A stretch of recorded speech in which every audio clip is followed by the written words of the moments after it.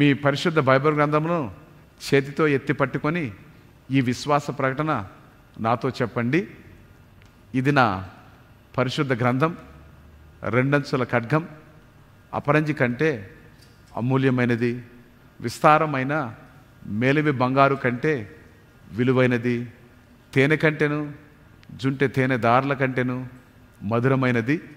నా జీవిత నావకు దారి చూపే చుక్కాని నా త్రోవకు వెలుగునిచ్చే దీపము ఈరోజు నీ వాక్యమును వినుచుండగా వినగల చెవి గ్రహించగల మనస్సు నాకు దయచేయము.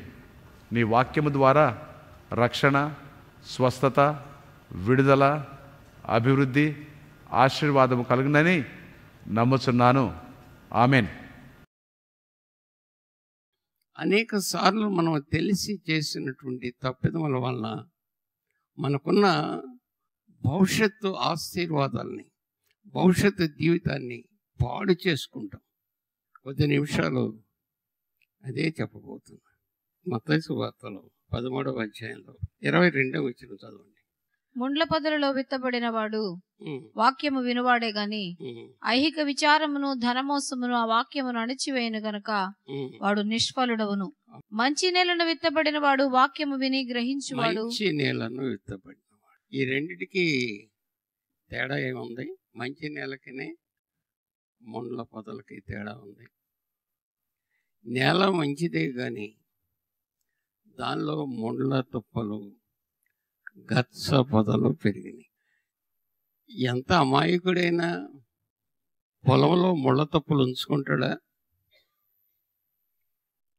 గచ్చపదలు పెంచుకుంటాడా? ఎందుకంటే నేల మంచిదే కానీ దాన్ని శుభ్రం చేయలేదు. దానిలో ఉన్న ముళ్ళ తప్పులను గచ్చపదలను ఏరి వేయలేదు. ఇంకొక తెలివి తక్కువ ఏంటో తెలుసా? ఈ విత్తనం పట్టుకెళ్ళి దాంట్లో పెట్టాడు. ఎక్కడ? అయ్యేం బలిసిపోయి ఉన్నాయి. ఎయ్యి మన హృదయంలో బలమైన పనికిరాని కోరికలు పనికిరాని వాంఛలు పనికిరాని ఆలోచనలు పెనవేసుకుపోయి ఉంటాయి.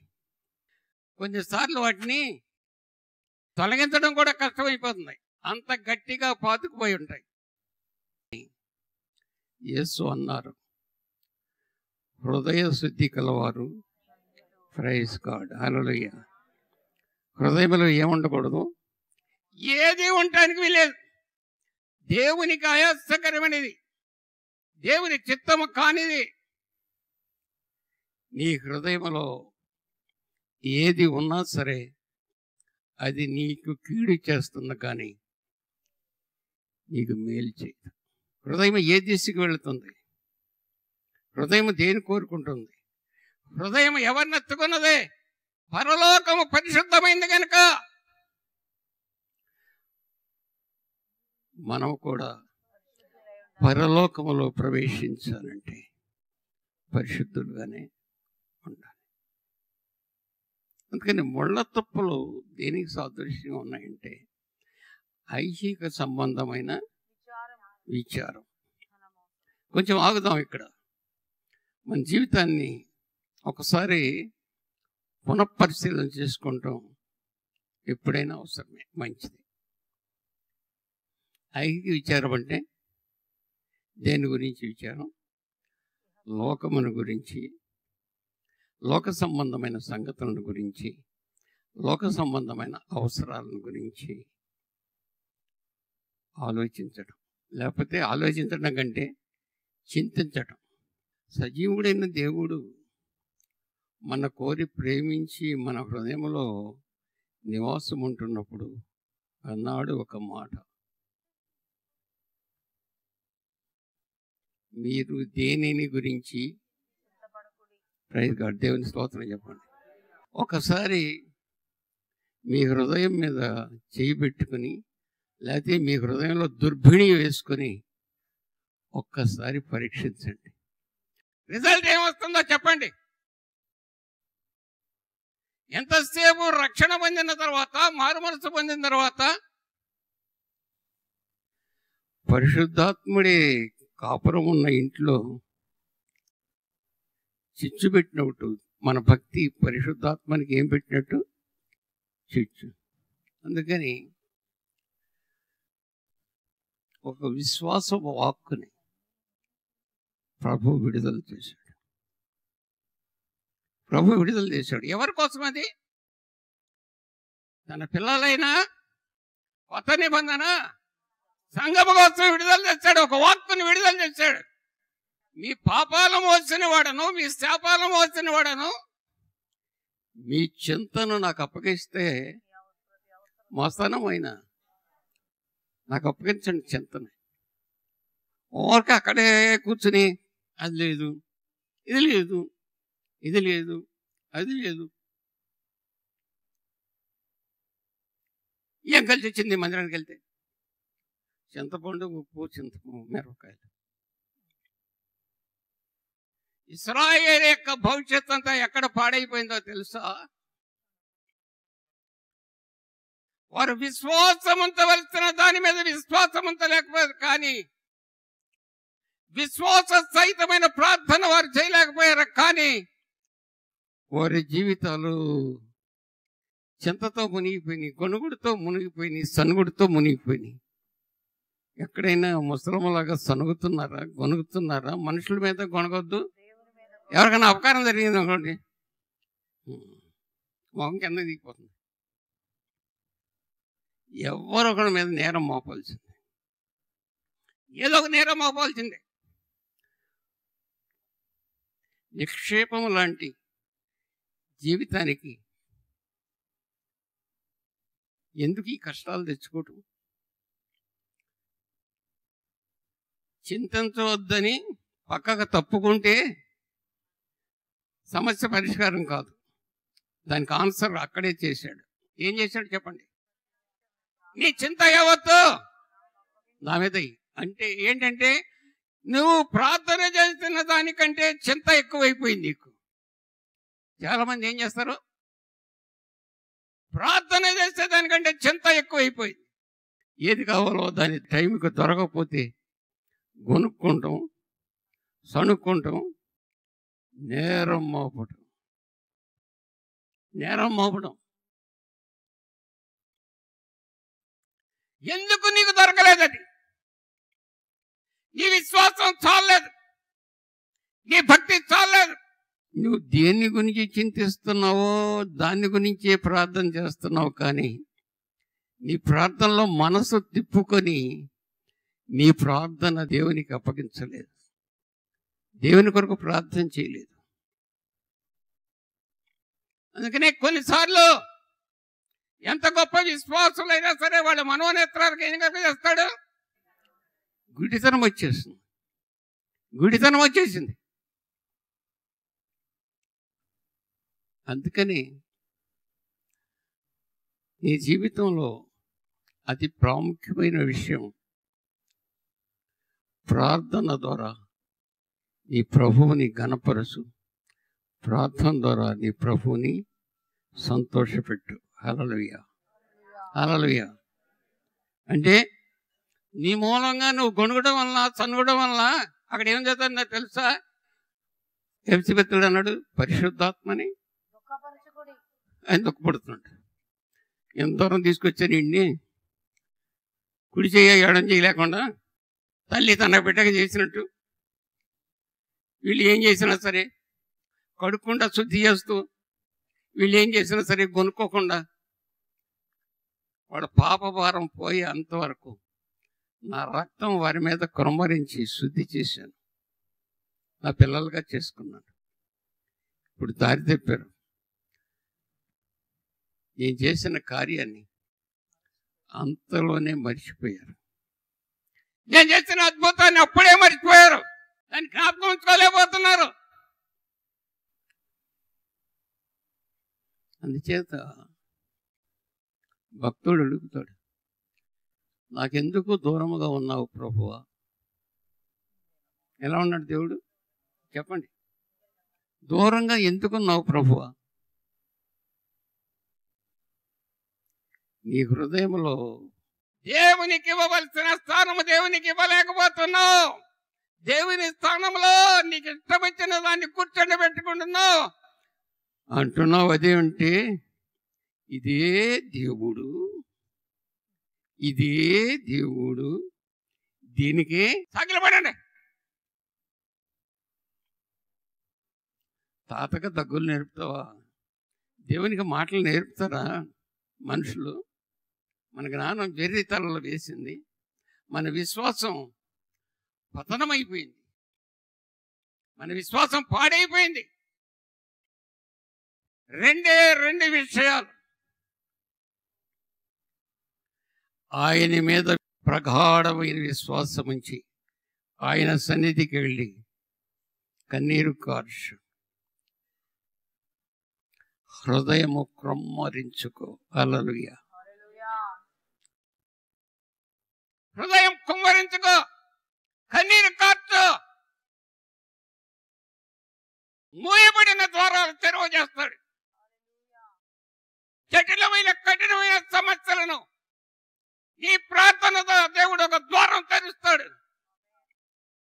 ఎంతో కాలంగా కుంగిపోతూ సమస్యకు పరిష్కారం లేదు. నా సమస్య పరిష్కారం కావడం లేదు.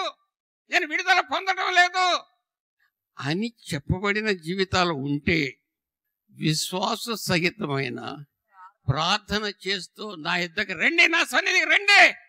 నా ద్వారాలు తెరిచే ఉన్నాయి. నేను ద్వారాలు పూయలేదు. మీకోసం గొప్ప కార్యాలు చేసి మిమ్మల్ని తృప్తిపరచడానికి వచ్చిన దేవదేవ స్థుతుడిని నేను. అలలోయ అలలోయ ఏమంటున్నాడు? ఎవరి కోసం గొప్ప కార్యాలు చేసింది? ఎవరి కోసం? ఎవరైనా చెప్పగలరా గుండె మీద చేసుకున్న గొప్ప కార్యం చేయలేదని? నన్ను అడిగితే వంద చెప్తాను నేను. ఇంకంతకంటే ఎక్కువ ఉంటాయి. అయితే మొదట వాళ్ళకి విశ్వాస భ్రష్టత్వం పోయింది. అది నెమ్మది నెమ్మదిగా చెదలగూడు పెట్టినట్టుగా హృదయాన్ని గట్టిగా పట్టేసింది. విశ్వాసం లేని ప్రార్థన. యాకోబేమన్నాడు మీరు సంపూర్ణులను అనునాంగులను ఏ విషయంలోనైనను కొదువు లేని వారై ఉండినట్లు ఓర్పు తన క్రియను కొనసాగింపనీయుడి. మీలో ఎవరికైనాను జ్ఞానము కొదువుగా ఉన్న ఎడల అతడు దేవుని ఏది జ్ఞానం కొద్దువైతే విశ్వాసం కొద్దువైతే నీ జీవితంలో ప్రార్థన కొద్దువైతే నా దగ్గరికి రా. అన్నాడు ఒకవేళ ఏ కారణము చేతైనా సరే పోగొట్టుకున్నావేమో ఏ కారణము చేతైనా సరే నష్టపరుచుకున్నావేమో నష్టాన్ని ఫుల్ఫిల్ చేయడానికి నేను రెడీగా ఉన్నాను. ఎప్పుడు? నా దగ్గర గాలి చేత రేపబడిన పొట్టులాగా ఉండకూడదు నీ ప్రార్థన. నీ ప్రార్థన శక్తివంతమైన ప్రార్థనగా ఉండాలి. నీ ప్రార్థన ఆత్మతో సత్యముతో ఆరాధన చేసే ప్రార్థనగా ఉండాలి. నీ భక్తి ఎలా ఉండాలి? ఎప్పుడూ కూడా సరి చేసుకుంటూ ఉండాలి. ఏం చేయాలండి? జీవితాన్ని ఎప్పుడు కూడా సరి చేసుకుని లోపం ఏముందో సరి చూసుకోవాలి. సరి చూసుకోవాలి. సరి చూసుకుని దేవునికి ఆయాసకరమైనది దేవునికి అభ్యంతరకరమైనది. ప్రభువా నీకు ఆయాసకరమైనది నీకు అభ్యంతరకరమైనది. ఎక్కడ? ఎప్పుడు చూసుకోవాలి. పరీక్షించి పరిశీలించి చూసుకోవాలి. అంచేత అట్లా పరీక్షించి చూసుకోవడం వల్ల మన జీవితము దిద్దుబాటుకి గురి అవుతుంది దేనికండి. సర్దుబాటు అవుతండి సర్దుబాటు వద్దు. ఏం కావాలి? దిద్దుబాటు అంటే ఆయాసకరమైంది కనపడినప్పుడు దాని మీద జాలి పడకుండా. అభ్యంతర పరిస్థితి ఏదైతే ఉందో దాన్ని పెరిగి దూరంగా వేళ్ళతో పెరికేసి మామూలుగా కాదు. వేళ్ళతో పెరిగి దూరంగా పారేసే అభ్యంతరకరమైంది. అప్పుడు మొదటి విశ్వాసం వస్తుంది. అప్పుడు మొదటి తీర్మానం వస్తుంది. అప్పుడు మొదటి ప్రార్థన వస్తుంది. అప్పుడు మొదటి కార్యం ఆరంభం అవుతుంది మళ్ళీ నీ జీవితంలో. దాన్ని ఎంతసేపు మోసుకెళ్ళినా సరే నీకు ప్రయోజనం లేదు. అందుకని ఎప్పటికప్పుడే దావీదు పాపం చేశాడు. చేయాలని చేశాడా? లేదు లేదు. దేవుని కోసం ఇచ్చించవలసిన టైంని తన కోసం ఇచ్చించుకున్నాడు. కోసం ఖర్చు పెట్టుకున్నాడు. అంతా యుద్ధం చేస్తున్నారు. కొన్ని వాళ్ళు కత్తులు కటారులు పట్టుకుని యుద్ధం చేస్తున్నారు. నువ్వు ప్రార్థనలో కూర్చొని పోరాడొచ్చు కదా. పోరాడొచ్చు కదా. కాసేపు జీవితాన్ని హాయిగా విడిచిపెట్టి చూద్దాం. ఏంటి? జీవితాన్ని ఎక్కడికి? విహారయాత్ర తీసుకెళ్దాం. విహారయాత్రకి వెళ్ళాడు. కంటికి ఇంపైంది కనపడింది అక్కడ. అనుభవించాలని కోరిక వచ్చింది. నాకు ఇష్టానుసారనే మనుషుడు అని చెప్పబడిన మనుషుడు దేవునికి ఆయాసకరమైన కార్యం చేశాడు. అభ్యంతరమైన కార్యం చేశాడు. పాపంలో పడిపోయాడు. దేవుడు వెంటనే అన్నాడు నిక్షేపం లాంటి కుటుంబం చక్కగా దీవించబడిన కుటుంబం చక్కగా ఆశీర్వదించబడిన కుటుంబం చక్కగా దేవునితో గడిపే కుటుంబం అన్ని విషయాల్లో కూడా దేవుని వలన దీవించబడి వర్ధిల్ల చేయబడిన కుటుంబం సమస్యలో పడింది. ఇక మీదట నీ కుటుంబంలో నీ ఇంటి వారే నీకు ఏమవుతారు? నెమ్మది లేని జీవితంలో కుంగిపోయాడు అలసిపోయాడు మార్గము లేక గత్యంతరము లేక దేవుని సన్నిధిలో కూర్చుని ప్రలాపించి ప్రలాపించి ప్రలాపించి ఏడ్చి ఆ చేడంటారా? ఆ జబ్బు అంటారా క్రీస్తు దేవుడు అతన్ని మళ్ళీ క్షమించే పరిణతరం ప్రలాపించి ఏడ్చాడు. నాకు నూతన మనసు దయచేయి ప్రభువ. నన్ను బాగుగా హిస్సపుతో నన్ను బాగా కడుగు. నా పాపం పోనట్లు నన్ను కడుగు కడుగు కడుగు కడుగు. సంతోష సాగరంలో ఉన్నటువంటి బాగా వినండి. సంతోష సాగరంలో ఉన్నటువంటి దావీదు శోక స్తప్త హృదయముతో నేలను పడి ఉపవాసం ఉండి గోని పట్ట కట్టుకొని ఏడుస్తున్నాడు.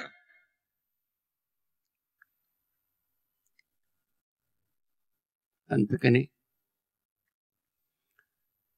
పాపానికి చోటు ఇవ్వద్దు చెడును అసహించుకొని చెడు కనపడినప్పుడు పాపము కనపడినప్పుడు దాని దగ్గర నుంచి పారిపో! ఎక్కడి నుంచి? చెడు కనబడినప్పుడు పారిపో! మనస్సాక్షిని బాగు చేసుకో!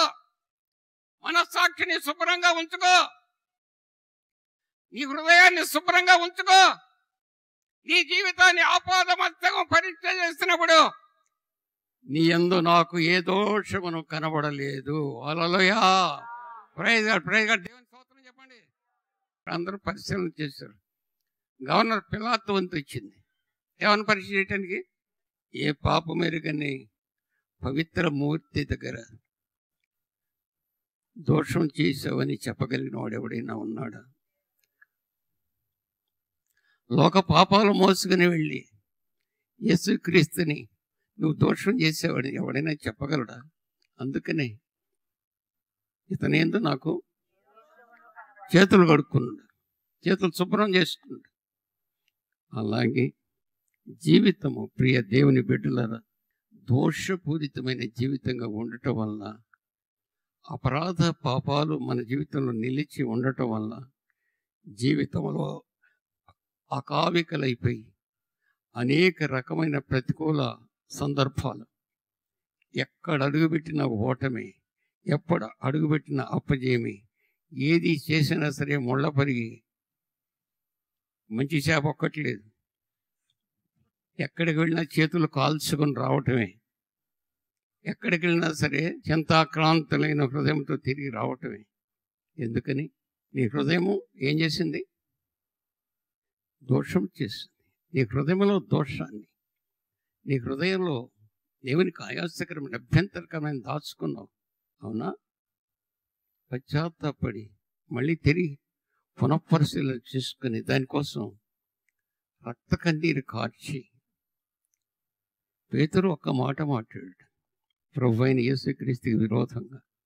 ఏం మాట్లాడాడు? తెలియక మాట్లాడాడు. ఏం మాట్లాడాడు? ఎరగన ఎరగన నాకేం తెలుసమ్మా? ఆ, ఓ పుట్టది సలివాణి దగ్గర కూర్చుని పిల్ల ఏమి గ్రహించలేరు అనుకుంటారు. మీ ఇంటి ఏం జరుగుతుందో మీ పిల్లకి ముందే తెలుసు. నీ పిల్లలకు తెలియంది నీ ఇంటో ఏమీ లేదు. వాళ్ళ నంగనాసులు వాళ్ళకేం తెలుసు అనుకుంటాం ఎన్నిసార్లు భక్తులు మాట్లాడుతున్నప్పుడు విన్నదో ఎన్నిసార్లు పేతురు సమావేశాల్లో పేతురును చూసిందో ఈ పిల్ల బాగా గుర్తుపట్టింది.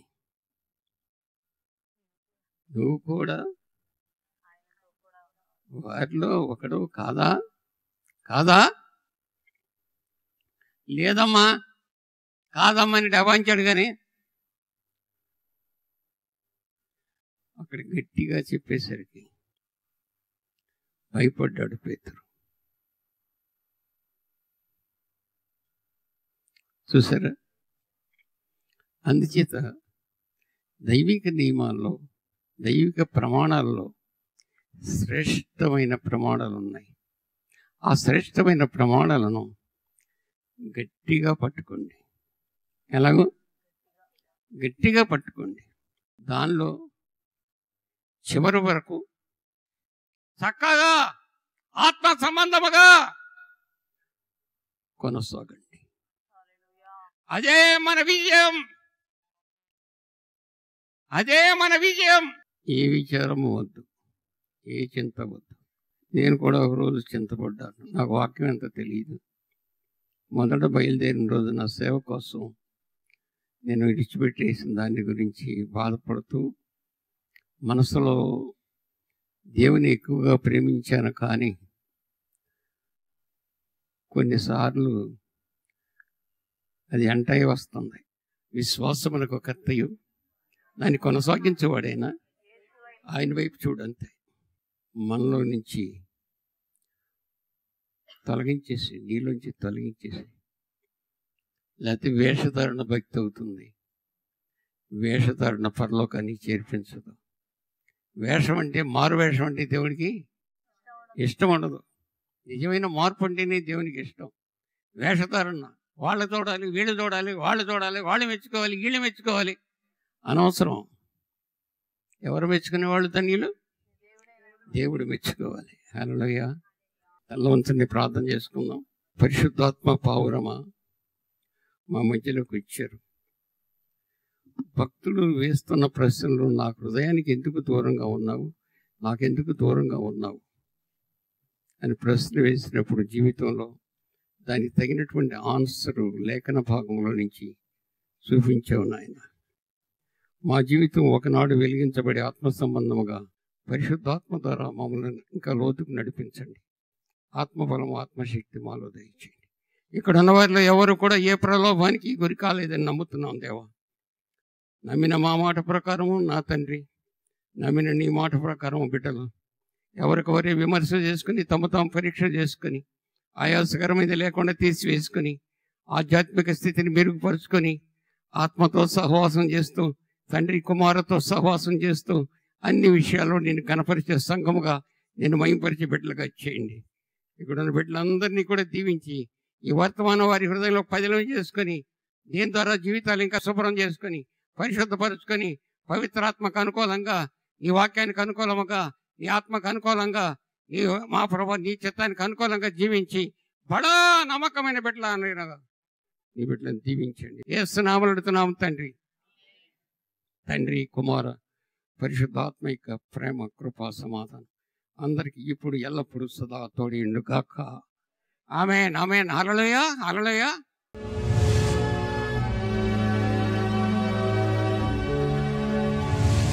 నా పేరు డేవిడ్ అండి. మేము విశాఖపట్నం నుంచి వచ్చాం. దేవుడు చేసిన మేలు ఈ ఈ చర్చికి వచ్చి సాక్షి రూపంలో చెప్పుకోవడానికి దేవుడు సాయం చేశాడు. ఈ పాప నా పెద్ద కూతురు అండి అమ్మాయి చిన్న పాప.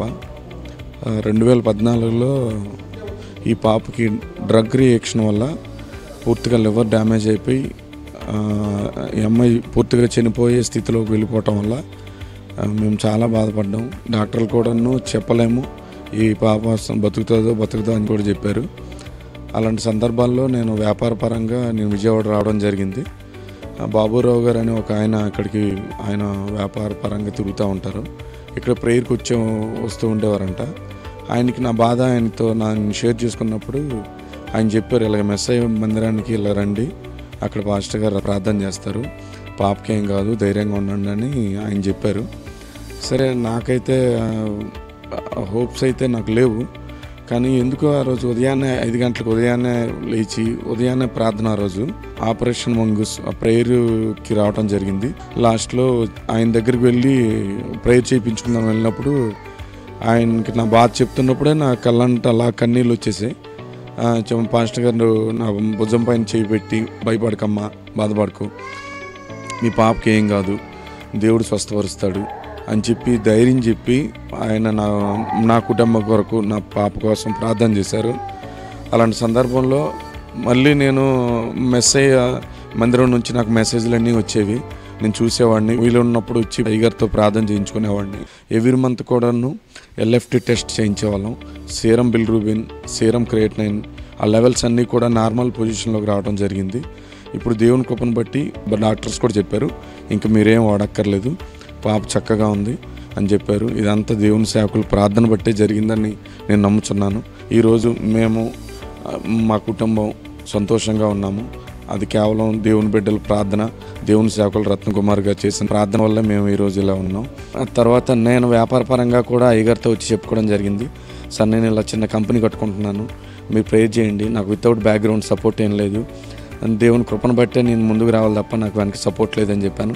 అయ్యగారు ఆ సందర్భంలో కూడా నాకు ధైర్యం చెప్పి దేవుడు నేను లేవనెత్తాడు. ఏం భయపడకని చెప్పారు. ఈరోజు నేను విశాఖపట్నంలో ఒక కంపెనీ కట్టుకున్నాను. ఓ పది మందికి పనిచ్చే స్థితిలోకి దేవుడు నన్ను తీసుకెళ్ళాడు విశాఖపట్నంలో. ఈ సాక్ష్యం ఇవ్వటానికి ఇక్కడికి వచ్చాను.